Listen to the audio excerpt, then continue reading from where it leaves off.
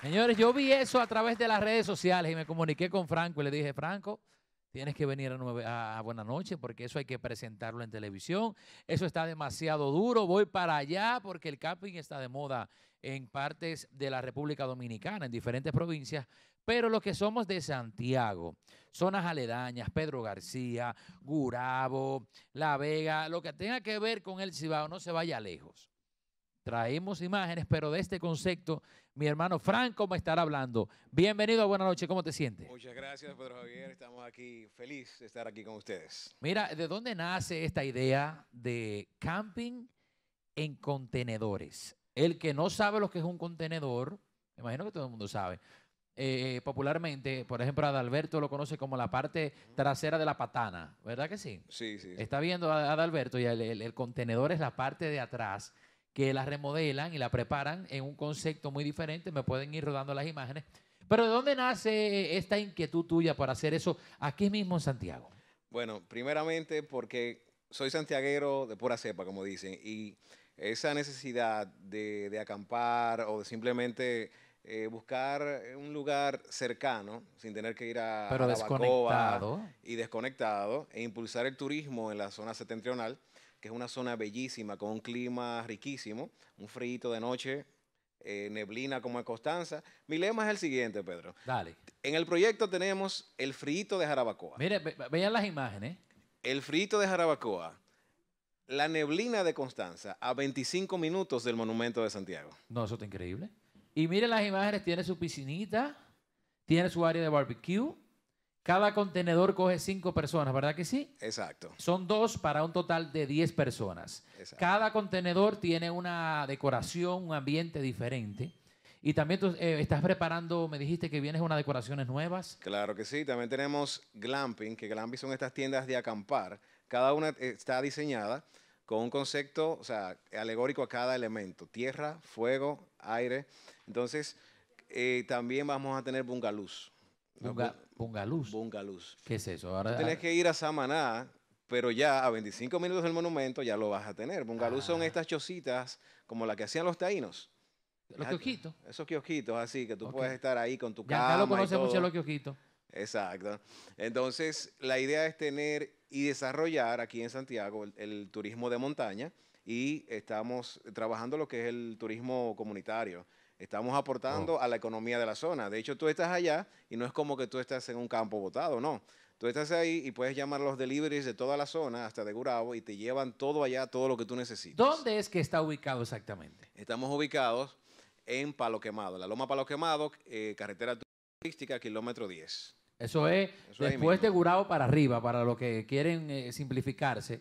Subo para arriba, pero no tanto. Eso es- se critica. Eso es de, de- de la calle 20 de Gurao, podemos decir 10 minutos. Exacto. Oi- Oigan bien, ¿eh? Pero eso es altura, eso es naturaleza, eso es desconectarse de todo lo que tenga que ver con la ciudad. Ya él lo dijo, la neblina de Constanza El, fri- el frito de Jarabacoa. y el frío de Jarabacoa. a 25 minutos del, monumento, de de Santiago. Santiago.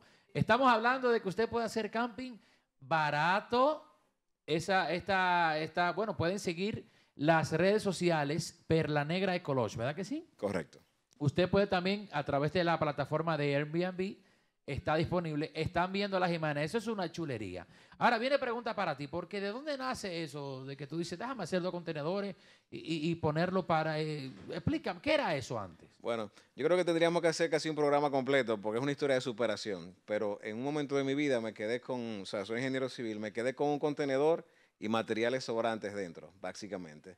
Y, y un dinero, una tarjeta de crédito. Entonces, en ese momento crítico de mi vida llegó la pandemia también para completar. Sea, falta el mundo, tranquilo. Exacto. Entonces ahí pensé, ¿qué voy a hacer con todo eso? Simplemente fui desarrollando esa idea y fui y separé el terreno con ese poco dinero que tenía y llevé mi contenedor. Duré tres meses para subirlo porque nadie quería subirlo porque la- eh, la- por la subida ninguna grúa sube.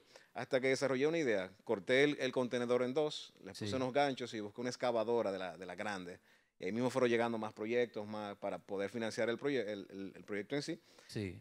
y subimos los contenedores. Entonces ahí mismo el proyecto fue fluyendo, ahí en vez de, de juntar los contenedores que cortamos, los separamos para hacer un visor y tú puedes ver el cielo desde dentro del contenedor. Señores. Entonces Eh, ahí mismo agregamos también, como te digo, el glamping, eh, porque para tú acampar tienes que irte fuera de Santiago. También, Sí. entonces también tenemos esas tiendas. Y el contenedor es la primera, ese proyecto, o sea, nosotros tenemos la primera villa completamente funcional realizada en un contenedor en República Dominicana.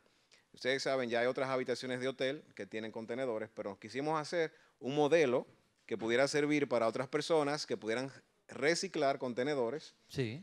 y utilizar ese modelo. De hecho, ya nos han contactado mucho para construirle proyectos similares. Por ahí te va tú.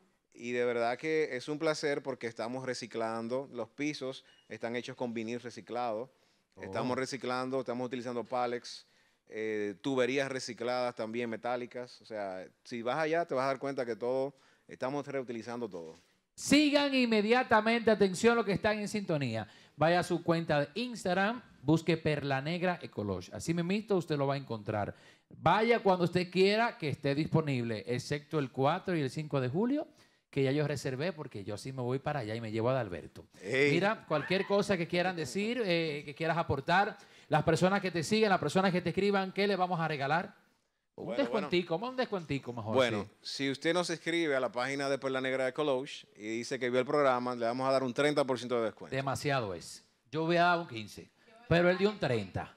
Vaya a la página, escriba la disponibilidad, se le va a mandar servicio inmediato, 30% de descuento a través de Buena Noche.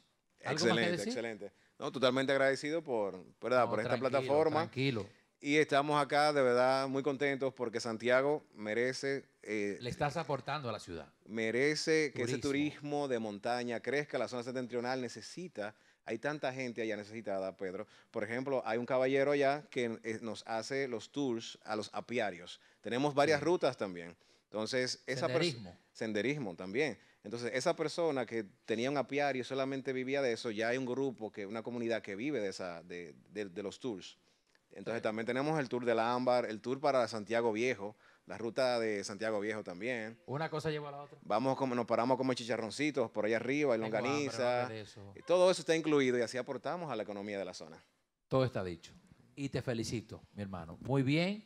Tu proyecto, que Dios te lo bendiga. Ya de mi parte tienes el apoyo. Gracias. gracias. Atención, los esposos, novios, amantes que están bravos. Aproveche Perla Ey. Negra y reconcíliese allá en las alturas. claro. Bendiciones, seguimos, Mac.